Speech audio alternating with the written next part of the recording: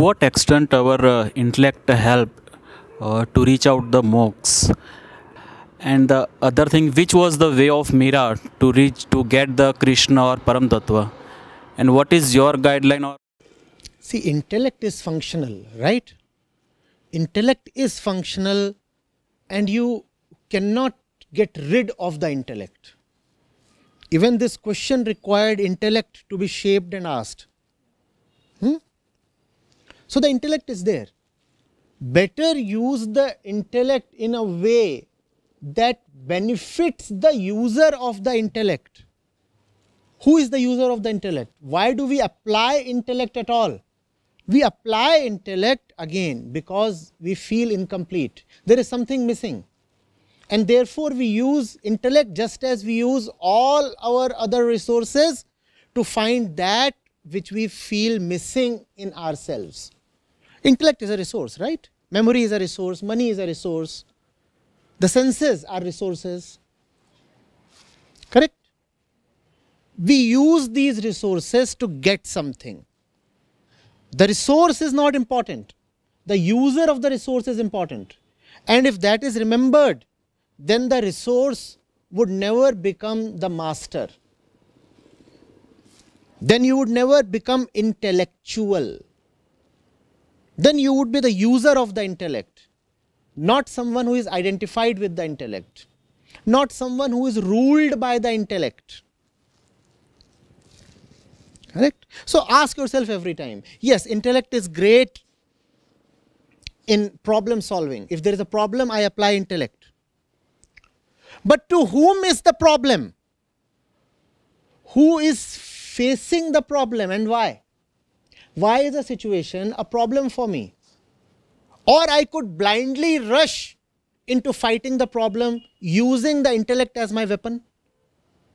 Before you grow over eager to solve the problem, why don't you ask, why is such a situation a problem at all? Or is it a problem in the first place?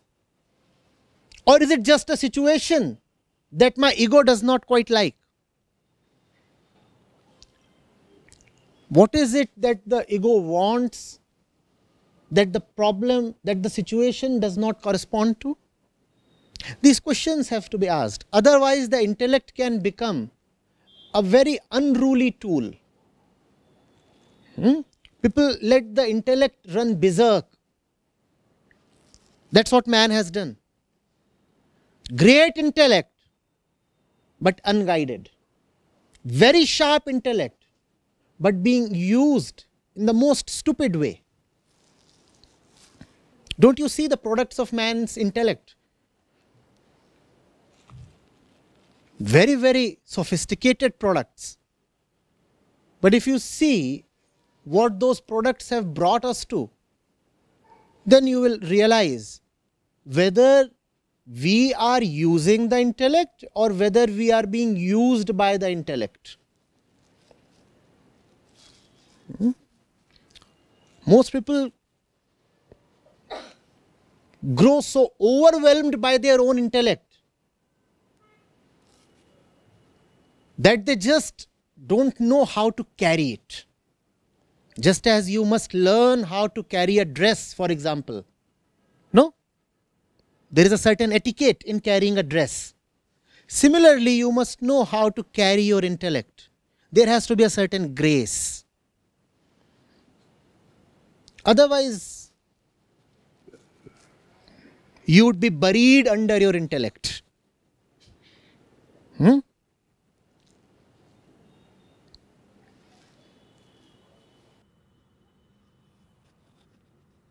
and uh, which was the way of Mira to get the Krishna or get the Param Tattva? The way of Mira was the way of devotion. Hmm? The way of Mira was the way of Ravidas. The way of Mira was the way of Kabir Sahab and Ramanand. Hmm? What specifically do you want to know about Mira's way? Uh, what I feel that uh, like Krishnamurti is uh, like Krishna Krishnamurti more emphasis on way of intellectual, but I personally believe that uh, the Narsi Mehta, Mira, and uh, the way of love I connect more. It's fine. It's fine. Depends on your prakriti.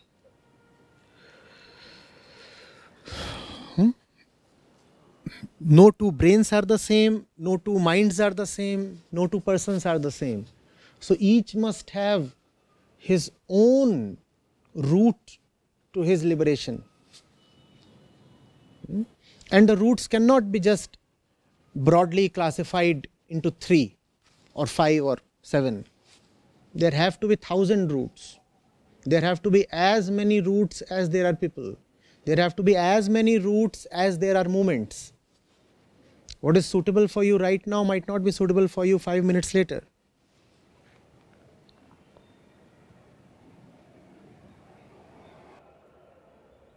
The last question is Lord Krishna has said in uh, Gita that uh, three uh, he used three word kshetra, kshetragna and kshetra rakshak. So means uh, it's uh, There is kshetra, there is kshetragya. What is the third one? kshetra rakshak. Kshetra rakshak. Has he really used this? Yeah, You are referring to chapter 13, right? yeah, yeah. So it means uh, kshetra means our body and kshetra Kshetra Kshetrag Vibhag Yoga is there. From where has the Kshetra Rakshak come? there is Kshetra and there is Kshetragya. Kshetra is the field, Kshetragya is the knower of the field. What is this Kshetra Rakshak? It looks like, you know, the, the, the keeper of the field. Kshetra, when translated to Hindi, means khet. Kshetra Rakshak would be some kind of a farmer guarding his fields. None of that. There is Kshetra and there is Kshetra. Kshetragya. Hmm? What is the Kshetra? All this is Kshetra. Who is the Kshetragya? The one has no business with the Kshetra except knowing it. Hmm? Except knowing it. It's a very, very pure and very subtle kind of knowing. A knowing devoid of all self interest. I am not knowing for a purpose, I am just knowing. Such is the Kshetragya. Not knowing for a reason, not knowing in order to benefit. Our knowledge is not of that kind. We do not know anything for the sake of knowing. Our knowledge is tied to our self interest, right? If you know something, if you feel interested in knowing something, there is always an expectation of gaining something through that knowledge. The knowledgeability of the Kshetragya is different and very pure. He just knows. Why does he know? Because knowing is his nature. Hmm? That's the Kshetra and that's the Kshetragya.